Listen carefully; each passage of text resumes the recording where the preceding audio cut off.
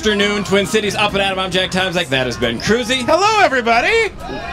Yeah. Welcome to the uh, gubernatorial forum at the Minnesota Republican Party booth at the Minnesota State Fair. Uh, there are half as many people here who came to our show every day this week. Uh, but this is not about Up and At Em the podcast that you can get on iTunes or Google Play, delivered right to your smartphone every single morning or afternoon, whatever you'd prefer. UpandAdamShow.com. That too. All right, we've gone for this gubernatorial forum of the Republican Party. We've gone in the order that uh, the order that people got in the corn poll competition. So whoever got the most corn, Jeff Johnson sitting here, and then down we go. So Jeff Johnson, Matt Dean, Keith Downey, Dave Osmek, Philip Parrish, Jeffrey Wharton, and Christopher Chamberlain. You guys need to switch. Did I get my lit? I, I measured them. I did. You get. You're the last one. You can take last spot. All right. Christopher Chamberlain, and bringing up the rear, Jeffrey Wharton. All right. Here's the format. Uh, six questions, and everybody will get a minute and a half to answer them. Uh, don't push me on that. Ben will cut your mic. Be mad at him, not me. And then we've got a three-question lightning round where people will get 10 seconds to answer the question. Now, most of them are yes or no's.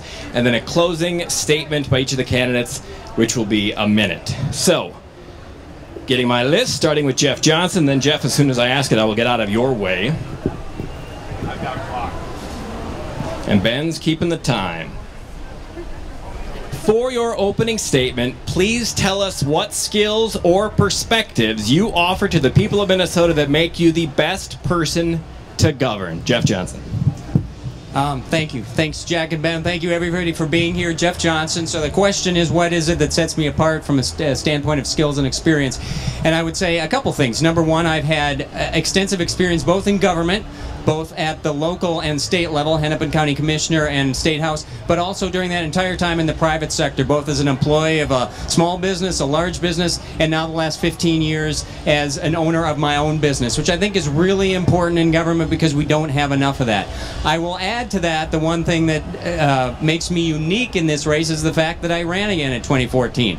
Frank Sinatra used to say, "Don't try to hide your scars because they make you who you are." I don't try to hide the uh, fact that I lost to Mark Dayton in 2014, and in fact, I believe running in 2014 is one of the things that makes me stronger than everyone else in this race because I'm the only one who's been through the fire of a governor's race. I know where I made mistakes and will fix fix them, and I've proven to you what I can do really, really well. I won huge with independents. I raised more money than Mark Dayton. I got more votes than any other Republican, and in the process, I learned a lesson or two. Thanks.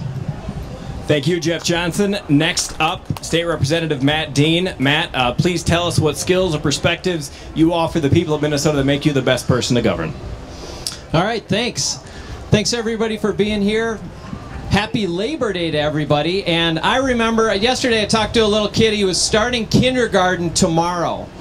And when I was a kid, a, kin- a kindergartner the next day on Labor Day, I remember one of the first things I can remember about the fair is my dad bought me a little blue felt hat with a big feather that I wore my first day of kindergarten the next day. And on that day, I met my wife Laura in that kindergarten. And after we graduated from ninth grade, we've been coming to the fair every year since then. Now, I thought I was really cool in my little blue felt hat with the white feather. I kind of imagined myself like Starsky and Hutch or something, but everybody laughed at me the next day except Laura in kindergarten. So that's why I stuck with her, and I'm glad I did. Uh, the fair is a great place. I've been out here all week having a great time talking to Minnesotans about where we go next. This is what sets me apart from the rest, I think, and it's what I hear every day out here. And I hear it from conservatives, I hear it from Democrats, from liberals and independents. They say, Don't tell me who you're going to beat because I know you're good at that stuff. Tell me what you're going to do when you win and be honest about it. I've done that in the legislature. I've done that in my private life, and I'm going to do it here. Uh, it's great to be here. I look forward to the debate ahead. I look forward to the long work ahead uh, towards a victory. When I got here the first day, somebody said, Time. looked at my booth and they said, Are you Matt Dean? And I said, Yeah. And he said, When can you start? So that's what we're up to. We're going to replace Mark Dayton. Thank you, Matt Dean. Next up, the opening statement question is Keith Downey. What sets you? Uh, what skills and perspective do you offer the people of Minnesota that make you the best person to govern? Well, thanks everybody for being here. And uh, after a week at the fair, listening to the people of Minnesota uh, telling you what they think, and maybe not quite as interested as what I'm going to bring to the table, I've come to the conclusion that there are three questions that we need to be asking. Number one, are you concerned whether your kids are going to stay in Minnesota? Are you concerned that your parents are going to stay in Minnesota? Have you asked yourself whether you can stay in Minnesota? You ask that question of the people at the fair, and it hits them. We are in a failure to thrive situation in Minnesota. The same old, same old isn't going to cut it. And I think I'm the only candidate coming to the table this year with more experience in business than in the public sector. And so, if you want somebody who has been a business leader, who has been a political reformer, somebody who has been entirely consistent in what they have brought to the table when they were in their public life, then I think I'm your guy. I believe I am the only candidate on this stage who has actually cut their budget, cut their debt, and won elections. We reduced the state party budget by 50%, the debt by over 50%, and we won. We can do this, people. We can stand for the people of Minnesota. We can win in 2018. Thank you, Keith Downey. Shots fired, by the way. And uh, we got a clock right down there, Ben on his desk, so you can see that so you don't go over time. That's new. Senator Dave Osmek. Well, thank you. We have the shot clock now, so we know exactly how much time we have. Um, I'm Senator Dave Osmek. Uh, I want to be governor because I am a fighter, and I want to fight for your values. Uh, your values are fundamentally Minnesota values. They're not Republican values. They're not conservative values. They really are Minnesota values, and we need people that are going to stand up for those values. I grew up in central, south central Minnesota, in a little outside of a little town called Biscay. Came home to my grandparents' farm and stayed there for about the first 18 years of my life. You learn work ethic. You learn helping your neighbor. You learn those fundamental skills and fundamental benefits or values that make you a good, not just a good person, but also a good candidate. Number one, what am I going to do as governor? Number one, eliminate the Met Council. End of story. I have submitted the bill. I've submitted it twice now. 241 pages. 241 pages worth of legislation to get rid of the Metropolitan Council. Number two, uh, we will be getting rid of Met, uh, the uh, light rail in Minnesota. No more Southwest and no more Bottineau. I shocked the folks in the media. There are some here right now, but because I was direct, honest, and said what I was going to do. And that's the one thing you have always seen from me being a city councilman in the city of Mound for 11 years, or now in the state senate, is what I say is what I do.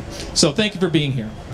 Thank you, Dave Osmek. Next up, Philip Parrish. For your opening statement, please tell us what skills or perspectives you offer the people of Minnesota that make you the best person to govern. Minute 30. Thank you. Hi, I'm Philip Parrish. Uh, the best thing you can do to make sure you get all the details, because I'm not going to get it done in a minute, go to parrishformen.com. Parrish, P A R R I S H, the number four, MN.com. Check it out. Make sure you read all of it, because this is about knowing everything and getting to know all of us, all about us, not just a one minute blurb, okay? I'm the best candidate because I was the only person when I started researching in December of last year, and then January came around, and I couldn't find a candidate that was out there telling the truth to Minnesotans. I couldn't find a single one that telling you the truth about security, our freedoms, and what's going to happen to our prosperity. I decided that I had to run. So I could have gone home because of my military experience, 19 year veteran. I specialize in counterterrorism and foreign policy. I could have gone home, just shut the door, lived out my life at home. No big deal. But I can't do that. That's not who I am. I have a lot of respect for these gentlemen. I understand a lot of you have been working really hard, and I have a lot of respect for the, those legislators that have been working really hard and doing the right thing. But it's time to stop being polite. We are going to end the immigration relocation program participation. We're going to stop it now. We're going to get rid of the Met Council. We're going to start letting you prosper from your hard labors for your work without having to be bled dry every time you turn around. So I'm Philip Parrish. Please check out the website. Learn more about what's going on, not just a one minute blurb. Thank you very much. Thank you, Philip Parrish. It was a minute and a half blurb. Up next, Christopher Chamberlain. What skills and perspectives do you offer the people of Minnesota that make you the best person to govern? One minute, 30 seconds. All right. Name is Christopher Chamberlain. Visit my website, Chamberlain4MN. C H A M B E R L I N F O R M N. I also have at Real Chamberlain on Twitter. What sets me apart from these other candidates is I've lived a normal life. Unlike a lot of these guys, I've lived on the system. I understand what the corrupt welfare system of our state can do to people. And these guys have had great careers. These guys have been in politics. I'm an outsider. Never held elected office. I'm a normal, everyday guy. What I do believe in is our Constitution. I believe I will back constitutional carry. I will end gun-free zones. We will, as Mr. Parrish said, end the refugee relocation and immigration program. It has put a devastating hole in our state, and we need to plug it. We need to start concentrating on Minnesota families and veterans first. We have too many of them living on our streets, and they have to come first. Secondly, I believe that it's time for us to redesign LGA. It has been corrupted. We need to make sure the funds are going where they are truly needed. I also want to address farmers. A lot of farmers are not getting the help they need. We have regulations that are crushing generation-long farmers in Todd County. The buffer strip has to go. I believe in our nation and I believe in the freedom of religion. We must stand united as one. Thank you. Thank you very much, Chris Chamberlain. Bringing up the rear, candidate Jeffrey Wharton. Uh, please tell us what skills and perspectives you offer the people of Minnesota that make you the best person to govern. Good afternoon, everybody. Can you hear me? All right. All right. I'm Jeff Wharton, and if you want to know more about me, like these last two gentlemen said, go to Facebook. If you're on Facebook, I know it might sound a little adolescent, but just check out Wharton for Minnesota 2018. You'll see videos. I talk. I, I believe in video more than I do just typing because the, voice speaks louder than words. Um, for me, I definitely agree with everything that Chris just said. Uh, we do need to get rid of the refugee relocation program. We need to strengthen our security and law enforcement. And me personally, I believe we need to bring back accountability because this has been lacking for far too long. Uh, on another note, uh, the healthcare system as well needs to be redesigned. It needs to be redeveloped and brought back so that the government has no control of it no more. We need to bring it to a, a top carrier that will give us the best price, that's going to cover every aspect of uh, medical down the line for everybody. Uh, for me personally, I, I, believe what I bring to the table is uh, my own personal life experience, and I'm sure everyone is probably going to leave with that thinking, well, we all have issues, but I, I, I carry with me the things I've learned and the things I hear, and I use them to my best abilities as far as I've gotten in life today. So with that, you know, I give you the website for Facebook. Check me out. God bless you guys. Hope you have a great day. All right, you can keep the mic and go grab a seat. We're going to go reverse order now, so you get the next question. Chris, you're, grab a seat, Chris. Jeff, wait, no, stay right there. Hang on the mic. Nope, take a seat. There we go. All right, now we're going this way. Are you electable statewide, and what is the strongest evidence of your statewide electability? Uh, minute and a half. As far as statewide electability, um, I've already been told by numerous people that far and in between that I'll even get elected. That doesn't mean I'm going to give up because that's not in my nature. And you know, the, the long story short, you, you just got to keep pushing. I know I'm a rookie. These guys, I, I have the utmost respect for every man up on this stage, and it's inspirational for me because all I keep doing at these these you know these get-togethers is. You know, I'm continuously learning. I'm continuously doing my best to do my homework to, to further educate myself on other aspects of, of state, you know, situations. Um, I'm very sensitive about other situations that I, I want to push for. Um, as far as, like you said, being elected statewide, it's going to be a hard fight. So, I mean, all I can do is just keep pushing. All right, Jeff Wharton. Uh, next, Christopher Chamber. I got your name wrong. That was the confusion. That's my fault. Uh, minute and a half. Are you electable? That's because you guys got out of order. I had an order down. Uh, are you electable statewide? What is the strongest evidence for your statewide electability? Minute and a half. Don't feel like you got to use all the time. All right, well, electability statewide. Yes, I believe I am electable. I'm sorry, what? That's right. Ah, sure, side talking. Anyways, yeah, I believe I am electable statewide. Um, people understand where I come from. They understand that I know the common struggle, the common plight from people, normal people, everyday Americans, everyday Minnesotans. They understand that I have that view and I'm standing strong with our Constitution.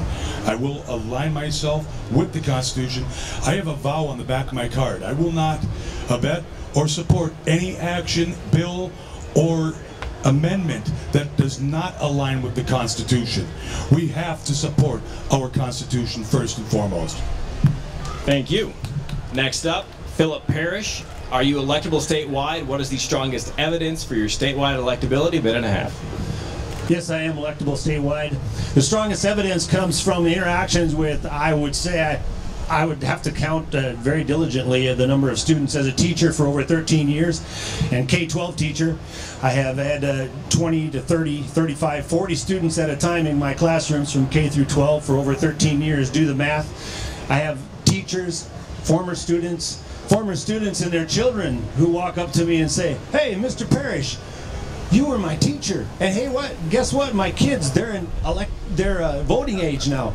So it's really a wonderful experience to be across minnesota and see all the wonderful faces that i've seen over the years.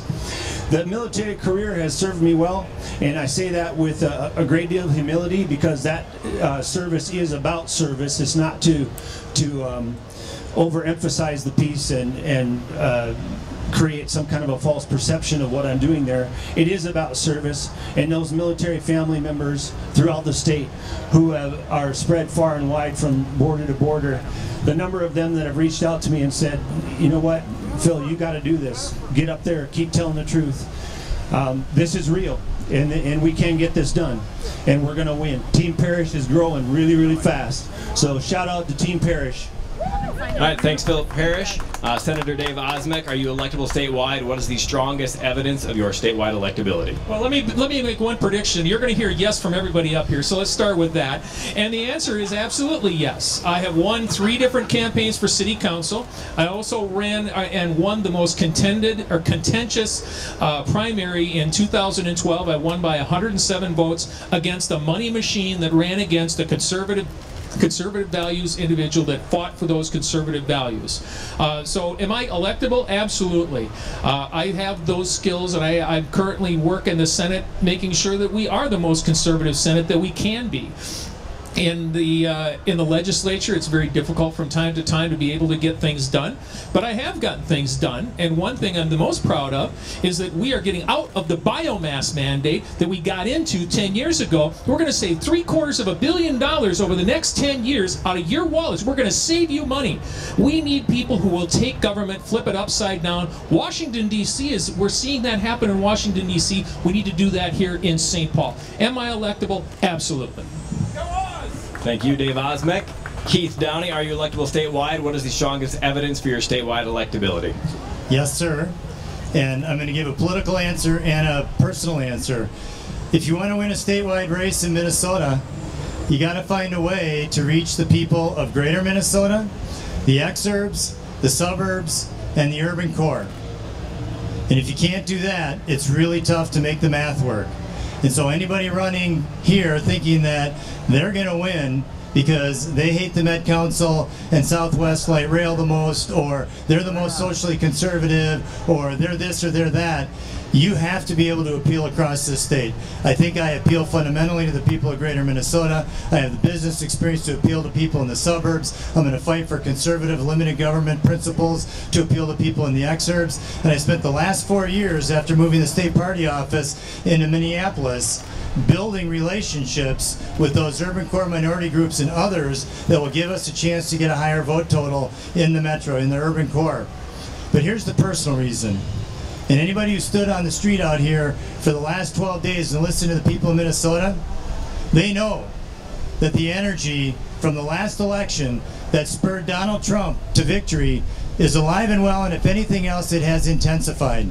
They are looking for an outsider. They are looking for somebody who will actually go in and change the status quo. They're looking for somebody who will fight for them. And that's our opportunity on the Republican side. We have a chance over the next nine months before our endorsement Time. to get out and present that message to Minnesota. And if we do, we're going to have success in 2018. Thank you, Keith Downey. State Representative Matt Dean, are you electable statewide? What is the strongest evidence for your statewide electability? As a fifth generation Minnesotan, I can tell you that this state is hungry for leadership. They want to get behind a leader and they want our state to move forward not as a Republican state or a Democrat state or a purple state, but they want our state to move ahead. They're tired of a lack of leadership from the governor. They're tired of I'm smart, you're dumb, I'm good, you're bad, I'm going to blame you. And where I hear that most from is from conservatives. Conservatives are telling me, show me what you're going to do, tell me what you're going to do, and then go do it. I've done that in the legislature. I've been able to do things with a governor from a Republican Party, Governor Pawlenty. I've also been able to do things like kill the sick tax with a governor from the other side of the party, from Governor Dayton. I've been able to do that from a from a district that doesn't always vote Republican. I voted I voted uh, consistently conservative, and in the last election, people told me you are going to get killed because Donald Trump is going to die in the suburbs. You just run away, run away, run away from your party. I ran on my convictions. I didn't want run away from them. Yes, I ran 11 points ahead of the president on the last ballot, but it wasn't because I ran away from my convictions or my party. I think it was because I ran on my convictions and with my party and with every other Republican on the ballot and did so with a lot of hard work and a lot of shoe leather, and that's how we're going to win next time. Thank you, Representative Dean. Uh, Commissioner Johnson, are you electable statewide? What is the strongest evidence for your statewide electability? Well, the answer is yes, and I'll give you two reasons. Number one, I'm, I'm the most geographically balanced of any of the candidates up here. My wife and I were born and raised in northwestern Minnesota, essentially spent half of our lives in rural Minnesota. We've been in the suburbs for the second half of our lives. In the last eight years, I've spent every week in Minneapolis dealing with issues that affect the urban core. And I agree with Keith that if you can't win in every area, you're not going to win. More importantly, though, I was able to do in the last election what is the hardest thing for Rep- statewide Republicans to do in this state, and that's win independents. And I won independents as a conservative with a conservative message. I ran against uh, extremely popular incumbent with a huge outside money advantage, and I beat him with independents by 10%, and I tied with independent women which is unheard of for a conservative Republican. So, what I was able to prove is that I can take our conservative message and share it in a way that appeals to more than just Republicans, and that's the key to winning in 2018. All right, thank you, Commissioner Jeff Johnson. Hang on to that mic. We're starting with you and we head back the other way. What should Minnesota do to promote economic growth? Number one, we need to cut taxes and eliminate regulations. We don't compete with the states that surround us. I also, however, don't believe that Mark Dayton's strategy for economic development makes any sense for us. And I think there's some differences up here on this particular set of issues. Mark Dayton's strategy has been let's have a, a, a, business environment that is very unfriendly to entrepreneurs, both from a tax and regulatory perspective. But let's try to lure a big company here every once in a while by giving them subsidies that no other business gets that frankly has tended to also at times been a Republican strategy, and it's the wrong strategy. We should lower, lower taxes for everyone, big or small, and we should change the regulatory attitude in government from that of controlling and directing and punishing to that of actually serving the people who pay our salaries and helping businesses to succeed. If they refuse to follow the rules, fine. Then you fine them or you jail them or you do whatever you need to do. But government's job should not be to control and punish. It should be to serve. And I think that is the I think that's the most important piece along with taxes and regulations of making sure that Minnesota is finally competitive with the states that surround us. Right, thank you, Jeff. Representative Matt Dean, what should Minnesota do to promote economic growth? A hundred years ago, all of the wealth in the state of Minnesota came from harvesting stuff, making stuff, and healing people. Today, all of the wealth in the state of Minnesota comes from harvesting stuff, making stuff, and healing people. And we've got a governor right now that has basically declared war on all three. So if you're harvesting timber, agriculture, and minerals, if you're manufacturing, or if you're in medicine, what are you thinking about? You're thinking the government is there to get in my way and to try to put me out of business. And is it any wonder that North Dakota, South Dakota, Iowa, Wisconsin, Michigan, Indiana, Illinois, the states that are around us that are really focusing on jobs are doing better than us. They're attracting those jobs and that growth. What's different about there than here? It's not our workforce. We got a great workforce. It's about the climate and it's about the intentions. And little things are big things. And when you can say to a farmer or you can say to a miner, we're going to make things a little easier for you next year instead of a little harder, you're going to make some headway. And when I was up on the Iron Range, I, the woman up there, two kids, $72,000 a year in the mine. She's now making $19,000 a year with two jobs and no health care. You're going to tell me that those two jobs are the same? They're not. We need middle class Minnesota families to work again. We got to make work work for Minnesota families. We are the party of the middle class, and we're going to make that that case wall to wall, border to border, and I can't wait to take that on the road. Thank you, Matt. Uh, Keith Downey. What should Minnesota do to promote economic growth? Well, thank you. And a couple of things. Uh, Matt has it partially right, but the legacy strength of Minnesota's economy is in its diversity. And he didn't mention the massive retail sector, the financial services sector, the construction sector, the professional services sectors that we have.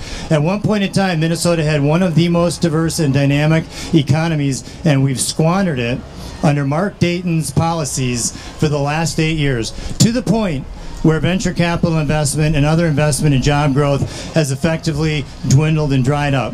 And the solution is actually quite obvious, and Jeff is exactly right. You got to cut regulation, and if you have to cut taxes. And everybody who says that, I think, doesn't really have a clue that on the other side of that coin is you got to cut state spending. You cannot offer tax relief unless you cut state spending. And unfortunately, the last couple of years haven't been any better than the previous four under a Democrat regime entirely. We grew the state budget in the last 10 years 50%. Just this last year, a 9% increase. 9%. And that's what our guys went along with. We had a $3.6 billion surplus after the Democrats' tax increase of five years ago. $3.6 billion, and the state kept 80% of it for themselves. We wasted a billion dollars on MNsure. We just bailed it out with another billion dollars. If you really want to cut taxes, you got to get at the spending. I proposed the bill five Time. years ago. I'm committing to it again to reduce state state spending by 15%. Thank you, Keith. Uh, Senator Osmek, what should Minnesota do to promote economic growth? Well, I think. Well, I think I sort of started go. I think I started started to go into this last the, with the last answer that I gave you. Think about saving three quarters of a billion dollars over the next ten years, keeping it in your wallet, and it's all because of a government mandate. That's just one thing that we did. We have other mandates that have been hinted upon here, but I'll give you another example. We have some of the most restrictive truck weight requirements in the entire for for surrounding states. Surrounding states can put a whole bunch more uh, product onto trucks, and it doesn't hurt their roads. Matter of fact, we have worse roads than the states surrounding us that allow larger truck weights. This is what happens when you can actually do that. By changing that rule, you actually get to be able to put more concrete into trucks. If we had done this with lower or higher truck weights when we tore down the Metrodome, which I wouldn't have voted for, but if we had torn down the Metrodome and used the higher truck weights, we would have saved millions of dollars, millions of dollars with stupid governmental regulations that hurt who? You, because you don't know where they are. We do because we're down in the gutter with and trying to fight for those values to get rid of them. And you need a fighter that knows where to kick over that that that rock and find out the savings to make it go back to your pocket. Dave? There you go. Uh, what should Minnesota do to promote economic growth? Philip Parrish. Number one, we're going to end our participation in the immigration relocation program. The exploitation that you are feeling in your pockets about paying for programs that none of you voted for, none of you signed up for, and none of you knew that your dollars are being commandeered by the federal government for, are going to end. Along with a list and lists and lists of funded programs for illicit activities in this state that no one up here is talking about. No one except me. No, uh, no matter where you are, no matter where you try to hide, no matter what false shell company you try to put up and prop up on the internet or prop up on a piece of paper or with our federal government, with Lori Swanson, shame on you. You're not taking this stuff on. We can end a lot of our problems with money by just exposing the fact of how corrupt and exploited all exploited our family and friends have been and how corrupt and the internal workings of those programs are. Number two, we're going to just take a step back and think about the word scheme. Think about a tax scheme. Think about the word scheme. How closely does that word align with the word scam? We're going to expose every scam within our government. Thank you. Uh, Christopher Chamberlain, what should Minnesota do to promote economic growth? Number one, I want to freeze spending for two years. Dead on freeze it. We need to stop government spending, period, for two years and identify what programs need to stay and what ones got to get booed. There is too much spending in our government. Uh, Ronald Reagan said it best, too. It's not the government's job to tell you what to do, but yours to tell it what to do. Time for us to tell the government, stop spending my money. It belongs in my pocketbook, not yours. Um, reducing regulations on businesses and families, taxes, we have to do that. We have to protect entrepreneurship. We have to help it grow. These people want the American dream, and we can give it to them. We can help them succeed on all levels of business, whether it's a mom and pop shop or a new birthing corporation. We need to stand together and help these businesses succeed. Thank, thank you, Christopher. Uh, Jeffrey Wharton, what should Minnesota do to promote economic growth? Well, this guy right here pretty much took the words out of my mouth. Now my jaw hurts. Thanks. Um, uh, me personally, you know, again, you know, these gentlemen up here have a long, extensive line in, in the field of, of, politics and you know business. Um, I, am pretty much a loner in, in Southwest Minnesota that's um, building on my own uh, my own reform as far as how I do things. Uh, you know, many good things have been said about it up here already. We do need to lower the taxes. We do need to build reform. Uh, as far as that, the, the best way I see it, and I'm sure a lot of a lot of people are gonna hate me when I say it. I look at other states that have uh, potentially legalized, you know, who dipped into legalization, and they've turned around their legalization of marijuana. And I, I look at the the prosperity of these other states who have built on that on that backbone of that, and they haven't abused it. So I think if we if we took a look at that, we would be able to actually uh, utilize you know the hemp product for more than just medicinal. We could use it for housing uh, and other allocations, uh, and we're going to lower taxes doing it because with that alone, we're going to be able to build on the economics of the state. All right, hang on to the mic. Uh, you get the uh, the next question first. What will the size of your first proposed two-year general fund budget be, uh, and explain your reasoning? Wow, that's the first time I've been put on a spot that bad in a long time. Um, yeah, I really don't. Uh, I, I, need to uh, keep working on that. That's the one thing I need to work on to do more number crunching and do more figuring myself on where I want to go with it and how I want to, you know, deliver it to the people of Minnesota. So it's not that I don't know; it's I haven't fully developed my own idea yet. So in time, I will deliver that on my page, or I'll get with anybody who would like to talk about it in the near future. And once I have a developed plan, then I'd be more than happy to to uh, give it. All right, thank you, uh, Christopher Chamberlain. Uh, what will the what will be the size of your first proposed two-year general fund budget? Explain your reasoning. Frozen. Frozen, like I said, freezing government spending. We'll stop it, take a better look at the uh, spending levels that the uh, government is doing, and adjust it appropriately. I can't give you a figure. You want numbers? We don't have numbers. We have to propose it. We have to look. When we freeze the budget for the two years, we will actually look at saving a lot of money because we're going to stop excessive spending. All right. Thank you. Philip Parrish, what will be the size of your first proposed two year general fund budget? Explain your reasoning. One third of the cost of the current budget. One third of the government will be gone. Sorry, the math doesn't work out there. If one third's gone, that leaves two thirds. Yeah. So which is it? One third or two thirds? One third of the current budget Okay. will be gone. Okay. Real. All right, thank you. Uh, Senator Osmek, what will be the size of your first proposed two-year general fund budget? Explain your reasoning and math. I would start at 42 billion and start working down. And the reason I say that is that is going back into the previous biennium that makes reasonable reductions across the board. I think what uh, what my colleague here just said was 30 million, or I'm sorry, 30 billion, uh, because we're currently about 45-ish, uh, depending on the day of the week. It seems like. Uh, but the the first thing you have to do too, when you're saying I'm going to start at 42, is you have to get legislative leaders together in January, and instead of waiting to the last second, set the first number set the first number at 42 million billion and i will say i will only go down from that number if you don't if you keep arguing with me. So you have to start at the number and build out your budget as opposed to what we've been doing lately which is creating a gangs rush at the very end of legislative session and then we're passing crap in the middle of the night which is completely wrong and I'm, I'm sure that my colleagues will agree with this we should be getting these bills done with two weeks left in session as opposed to waiting until two minutes before the end of session Thank you, Senator Osmek. Keith Downey, what will be the size of your first proposed two-year general fund budget? Explain your reasoning.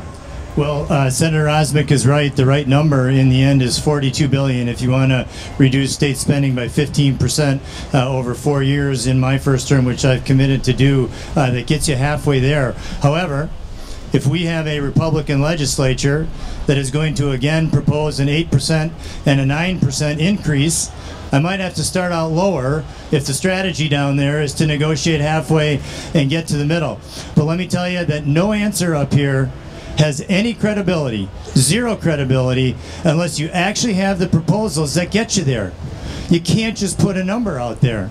You know what they're going to do to you? They're going to tear you to shreds. I have a proposal from five years ago that would uh, cut the state budget 15% over five years, and it consisted of 20 specific proposals. Some of those proposals actually require a little bit of investment. If you want to consolidate agencies, if you want to uh, consolidate things between the county and the state, you have to have concrete proposals, or your number doesn't mean anything in the negotiations, and you're going to be laughed out of St. Paul by the lobbyists and the press and by the Democrats and even the guys in our own party. So you better go in strong, and you better have the right number, and you better have the meat on the bone to defend what you're going to propose. Thank you, Keith Downey. Uh, Representative Matt Dean, what will be the size of your first proposed two-year general fund budget? Explain your reasoning. Thanks. Just for, for folks to get a little bit of a reference out there, in 2013, in July, our budget at the state level was about $35 billion. Today, Governor Mark Dayton signed into law a, a bill that puts us at 46 point something billion dollars, growing to 47 and a half. So if you look at that, you'd say that's bad, but it's actually worse than that. We've spent down all of our healthcare access fund. We've drained all of the cupboards. We've gone through the couch cushions. We've spent all that money and we've put it on escalators that tend to grow over time.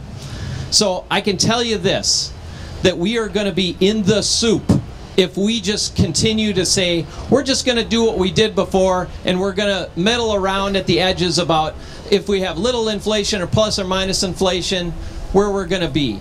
I can tell you the most important thing is to have an honest discussion with the legislature immediately. One of the first things I'm going to do if I'm governor is to call Keith Downey because Keith is actually somebody who is really committed to this in the past in the legislature too.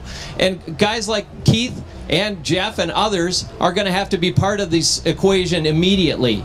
And I can tell you this, this is one thing that when I talk to the legislature, whether it's a Republican legislature or a Democrat legislature, they will know if they send me a budget that is over, I will veto a Republican legislature's budget if it's a bad budget. I'm willing to veto a Republican budget.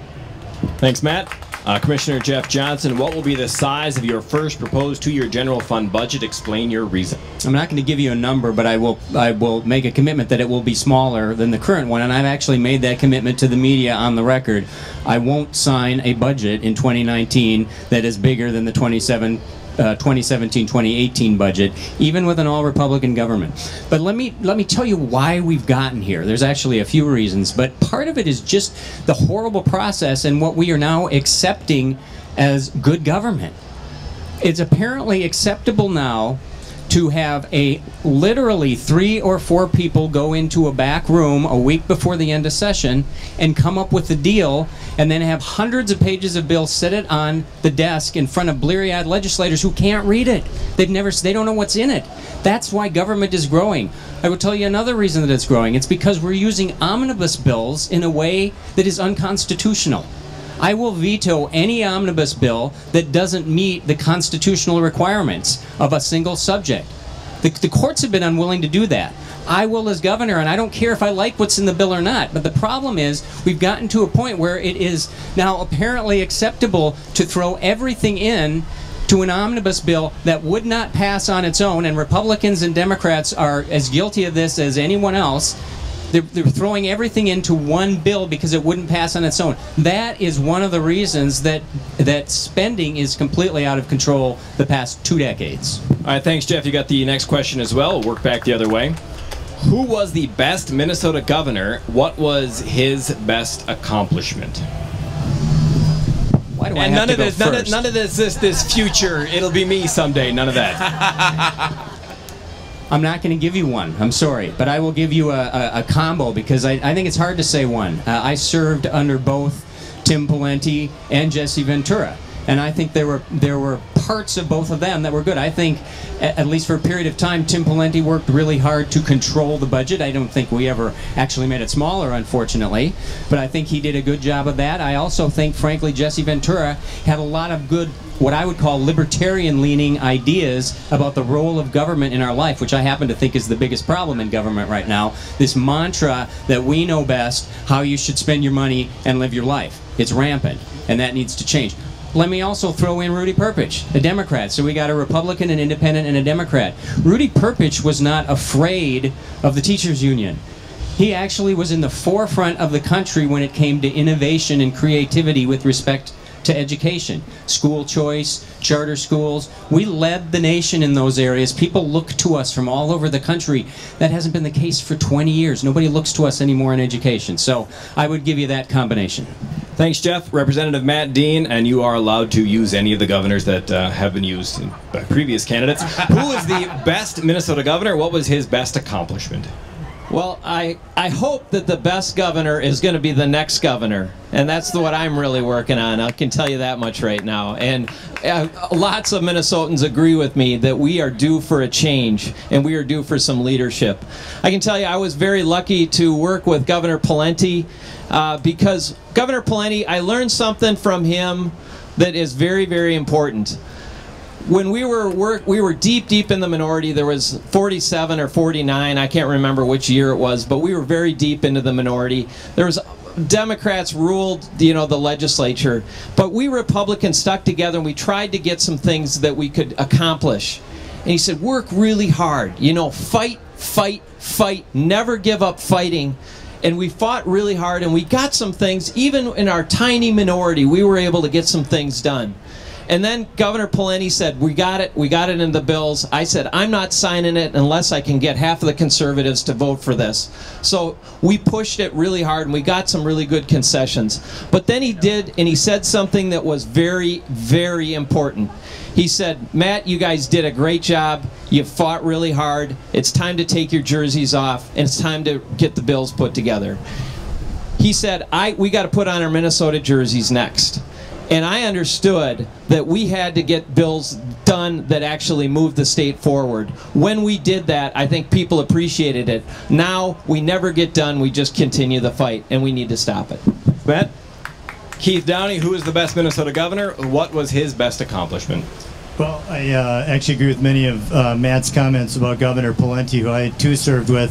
Uh, but honestly, I think the best governor for the state of Minnesota is Scott Walker next door in, Min- in Wisconsin.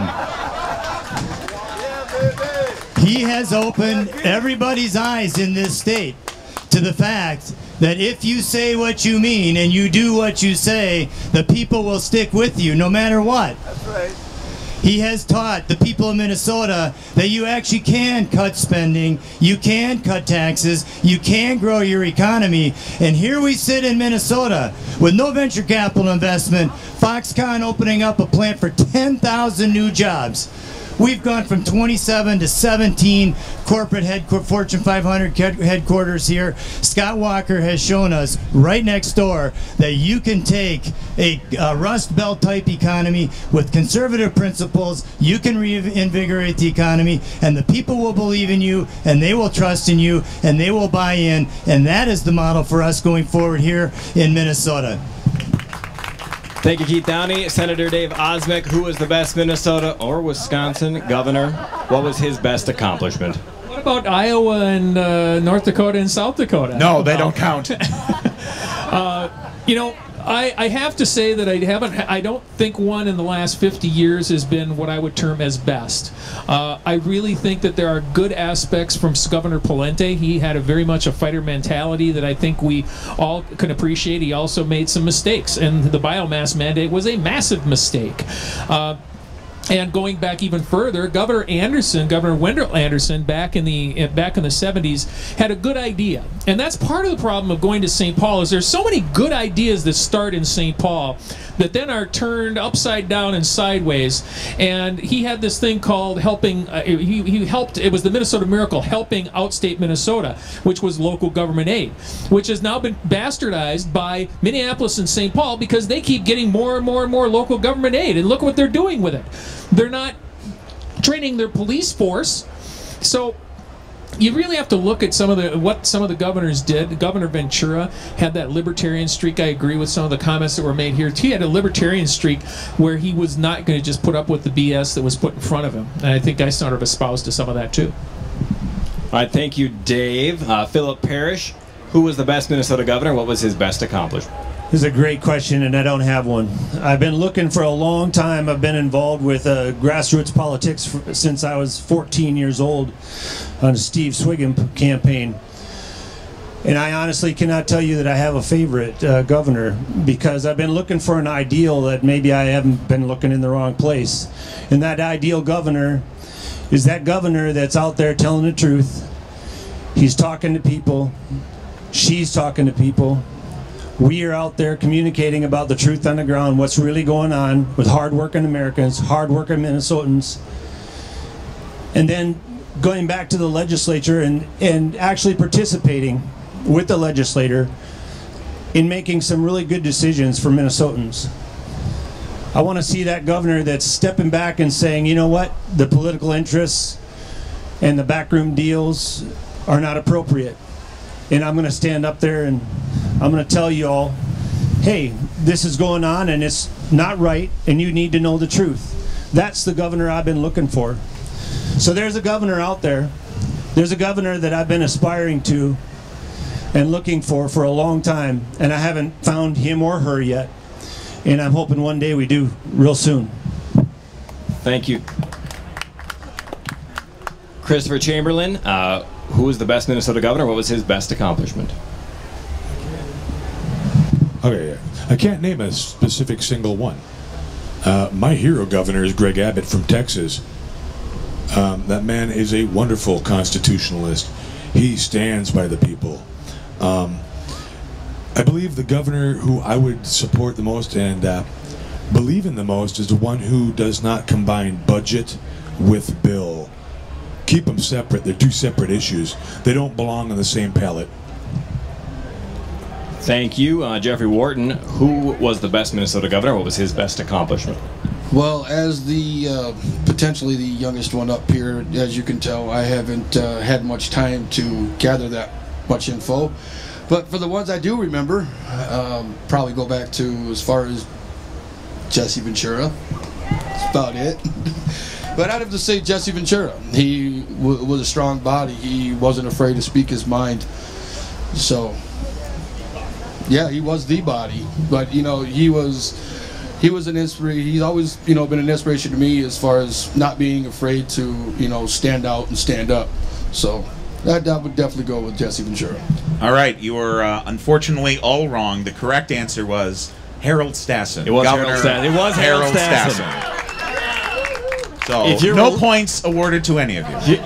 If anybody here is related to Harold Stassen, please raise your hand and sit on the floor. Oh, there you are. All All right, uh, this is the last uh, long form question, and uh, Jeff Jeffrey, we'll start with you. Briefly describe the worst billion dollars current state government is spending. Just one. I,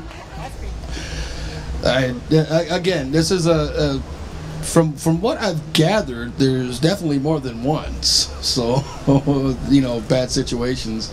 Um, I really can't budget down to one because uh, again, my expertise in the politi- you know political field is very slim. But again, that's um, something I will educate myself. You know, keep continuously doing my homework as I have been. Um, so yeah, but you know, to reiterate my original, my first, you know, the kicker to that question is yeah. The, I really don't think you can barrel it down to one. There's been too many mistakes made. So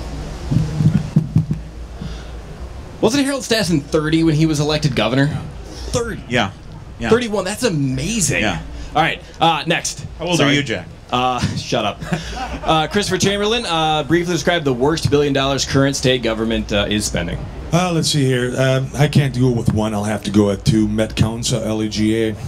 LGA is a disaster. It's being allocated in the wrong ways. And Met Council, we're wasting our money. Get rid of it. Thank you. Philip Parrish, briefly describe the worst billion dollars currently uh, that state government is spending. Oh, I don't think it's just a billion. I think it's a lot more. But the inappropriate fights with the mining industries and Lori Swanson and her crew out of bounds and way beyond her scope. And then gave up the governorship to join the Navy?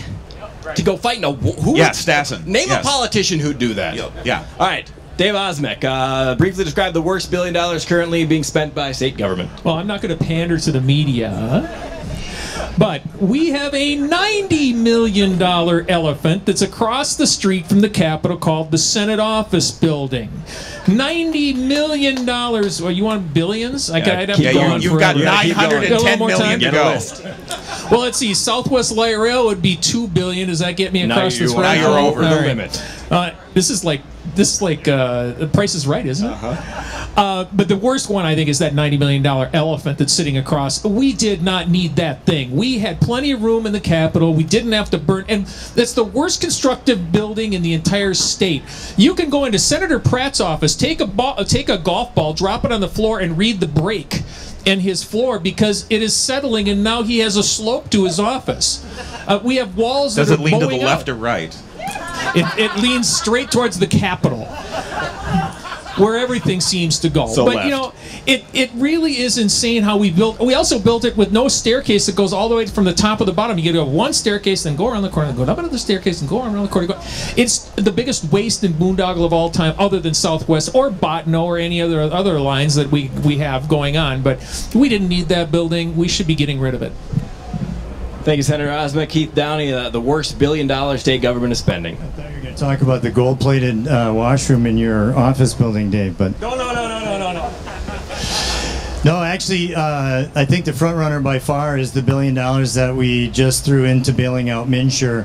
Um, for those of you who don't know, the federal government, about three, four, five years ago, I don't know exactly when, refused to allow the Obama administration to do a back end bailout. You might remember Marco Rubio took credit for it in the last presidential campaign, and Republicans held the line on that back end bailout of Obamacare nationally. And guess what? Everybody saw that thing for what it was its structural unsoundness and the fact that it didn't work. And so here we in Minnesota, to the lauds of the New York Times and the Star Tribune just through a huge back end bailout. We're calling it reinsurance, but bottom line, the taxpayers in this room are going to pay the highest out of pocket claims, and the state is basically bailing out MNsure once again. And not only is that horrible policy because that plan is still crippling people and the costs are too high, but it's horrible politics. We now own what happens with MNsure. This this provision was a debacle beyond comprehension when you really think about it. So we have a huge problem right now with what's happening in Obamacare. We made it worse as Republicans, and we're going to have to find a way to come back, to scratch and claw our way back uh, from that huge hole when I get in there, and we will. All right, thank you, Keith. Matt, worst billion dollars being spent by state government. Well, it isn't healthcare, I can tell you that much right now. And right now, we pay the, the legislative auditor looked into this and found that over a six month period, we spend $231 million for health care for people who live in other states, make too much money, or are dead. All right, just over six months.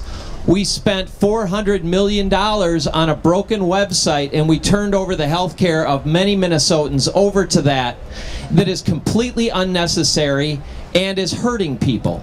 So everybody says, I, I had a, a bill that says we're going to kill and bury MNsure. And people said, well, you can't do that. I mean, what are you going to replace it with? When you have something that is unnecessary, expensive, and hurts people, you get rid of it. And that's what you do. Now, in Minnesota, I talked to a gentleman here uh, at the healthcare forum. He's back here again today. I'm glad to see he's here. He's a guy who's working really hard, working hard to try to uh, pay for health insurance. Can't afford it. Goes to the goes and says, "Hey, I thought we were supposed to get some help if we if we need some help affording per, private health insurance. What's going on? I can't afford it." You know what they told him? They said, "Maybe get divorced." then we'll put you on another government program. How's that work for you?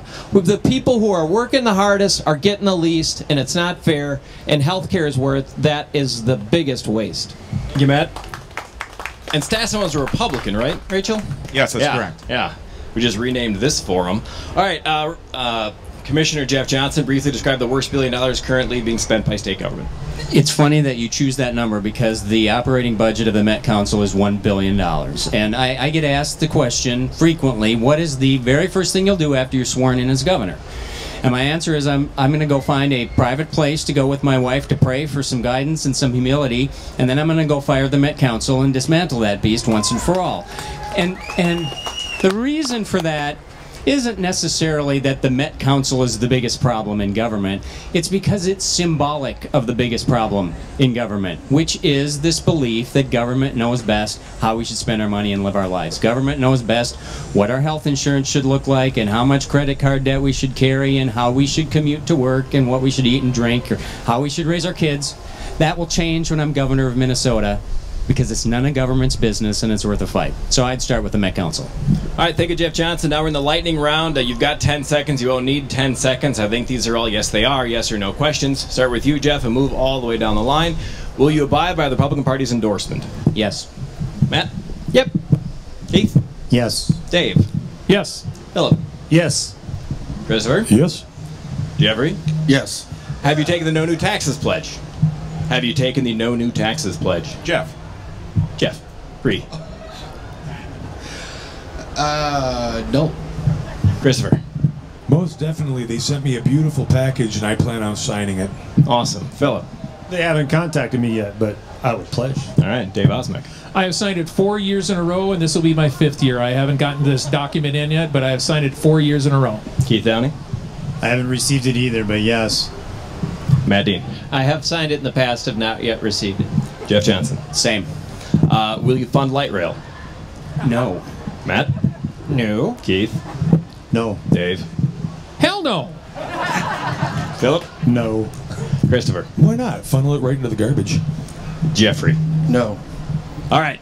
Uh, closing statements. You can hang on to the mic. You were first. One minute clo- closing statement. You can step up here to do it. Uh, one minute. The clock is being reset to say one minute. Go, Jeffrey Wharton.